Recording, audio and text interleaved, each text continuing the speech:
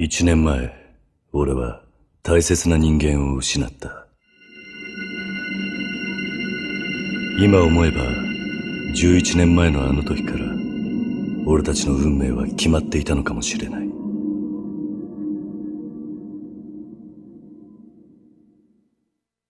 俺がまだ東上会の二次団体、堂島組にいた頃、俺には家族と言える仲間が三人いた。一人は同じ孤児院で育った親友、錦山明。もう一人は、孤児だった俺を育ててくれたおやっさん、風間慎太郎。そしてもう一人は、子供の頃から愛し続けた女、由美だった。両親がいなかった俺にとってその三人は、この世で唯一の家族と言える存在だった。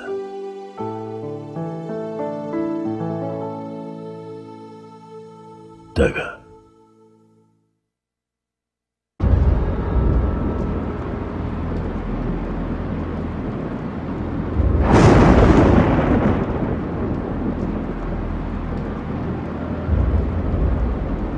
やっちまった東方商会の大看板俺の目の前には屍になった堂島組長の姿があった。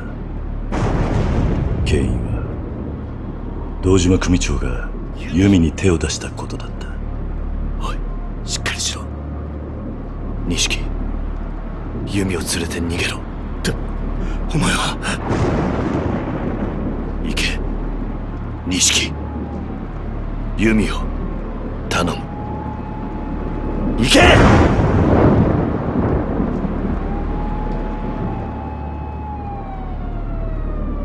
かけがえのない二人を守るため。俺は覚悟を決めた。食事、始め！刑期は10年。服役した俺には組織からの破門状と弓が失踪したという知らせが届けられた。親殺しの汚名。組織から見放された俺は自分を見失いそうになった。だがそんな俺を忘れないでいてくれる人間がいた。おやっさん。風間のおやっさんだった。出所した俺は風間のおやっさんに会うためそして何よりも服役中の10年間に起こったことを確かめるためカムロ町へと戻ってきた。そんな俺を待ち受けていたのは直系組長の皆さんがいるこの場で三代目に伺います。東都銀行の貸金庫にあった組の金100億。盗まれたってのは本当ですか？表変したかつての親友と消えた100億を狙う屈強な男たちだっ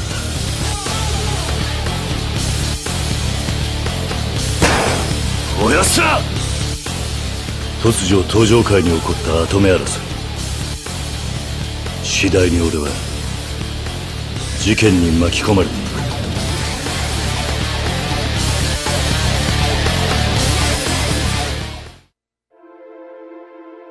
俺は風間のおやっさんの言葉を信じ事件と関係するという行方不明の弓を探す。だが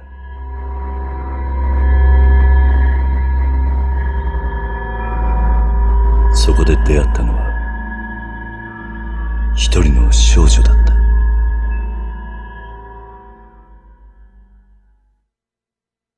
少女の名ははるかまだ9歳の女の子だった。はるかは母親を探すためたった一人で町へとやってきていた。単なる偶然の出会い。だがそんな少女と俺には一つの共通点があった。お前どうするんだこれから？私にはお母さんと弓お姉ちゃんだけ。だから。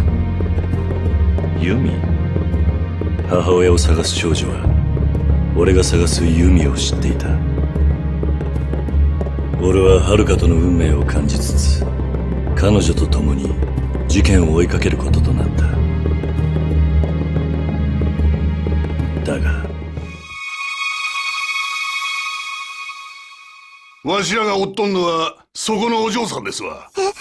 突如遥は100億の鍵を握る少女として組織から追われることとなってしまう狙われ続ける毎日俺は遥を守りながらユミと100億の行方を追った。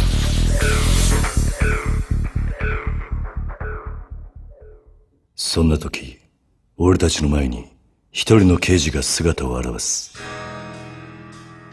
伊達誠元捜査一課刑事。11年前俺を取り調べたことがきっかけで人生を曲げた刑事は失ったキャリアを取り戻すため捜査の協力を要請してきた。桐生俺は今三代目の世良の殺しを追ってる。手風。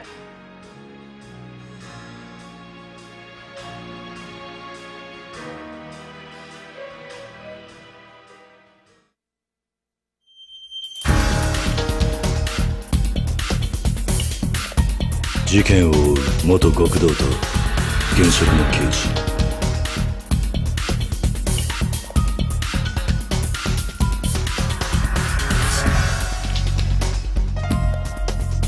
不思議な縁で組むことになった俺たちの間には次第に友情が生まれ始める。しかし。桐生一馬。誘拐の現行犯として逮捕する捜査一課課長須藤にマークされた俺たちは行き場を失ってしまう。伊達さん。ああ遅くなって悪かったな。あんたこんなことしたら。逃げるぞ桐生。警察との板挟みになった伊達さんは俺たちのために警察を捨てた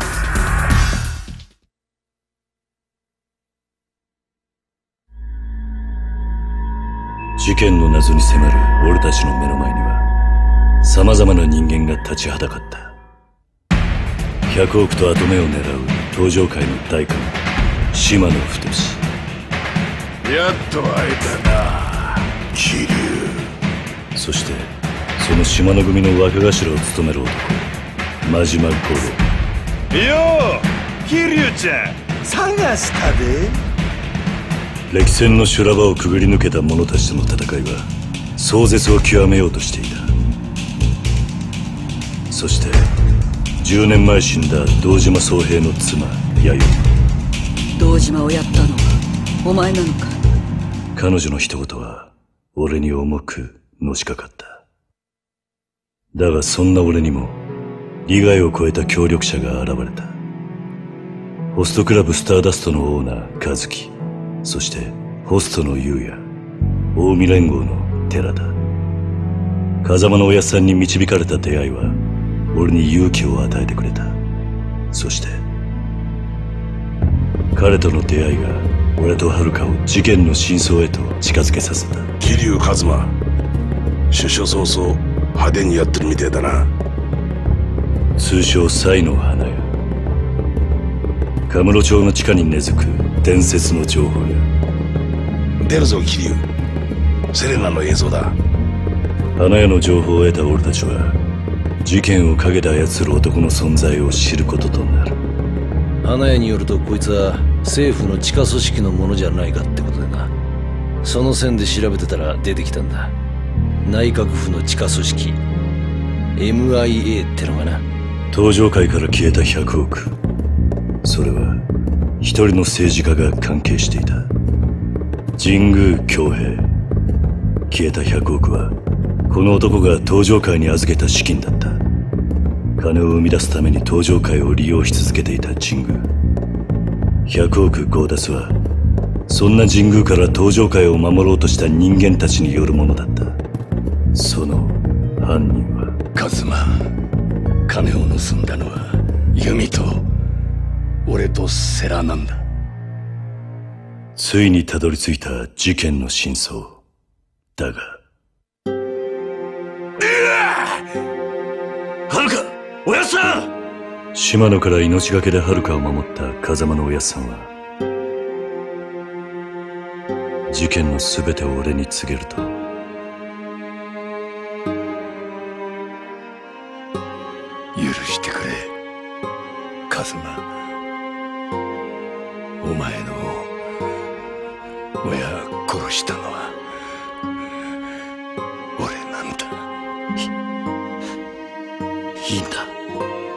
いいんだおやっさん。俺にとっちゃおやっさんが本当の本当の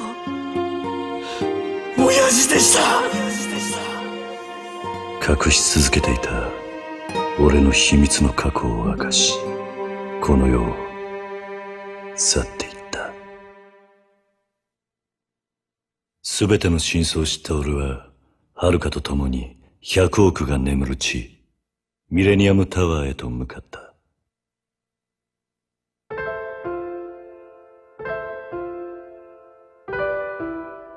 そこにはユミが待っていた。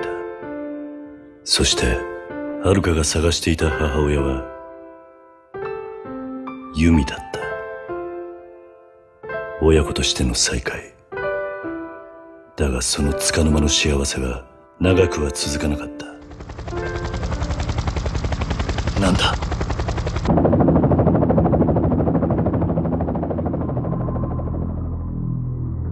やってきたのは100億を取り戻しに来た神宮強兵だった。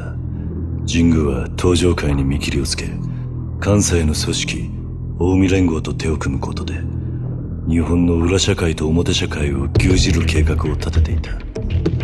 神宮は風間のおやっさんの協力者だった。近江連合本部長寺田を罠にはめ俺たちの前へ立ちはだかった。だが何？ユミ！もうこれであなたは私を撃てない。これが爆発すれば店の中にある100億も一緒に消えてなくなる。ユミの命がけの勇気とおやっさんから受け継いだ意志を俺は登場界四代目桐生一馬だ。俺たちは神宮を打ち破ることができた。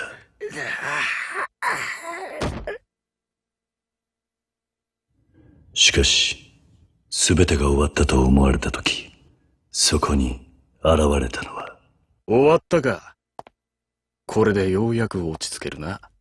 錦10年という時を経て変わってしまった俺たちは。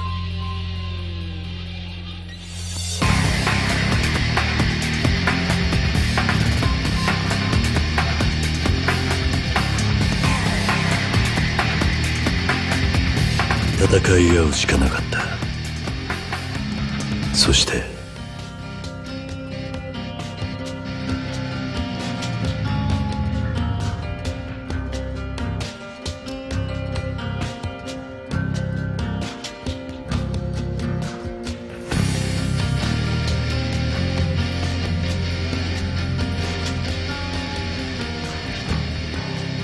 の親友は最後に俺と遥を救ってくれた。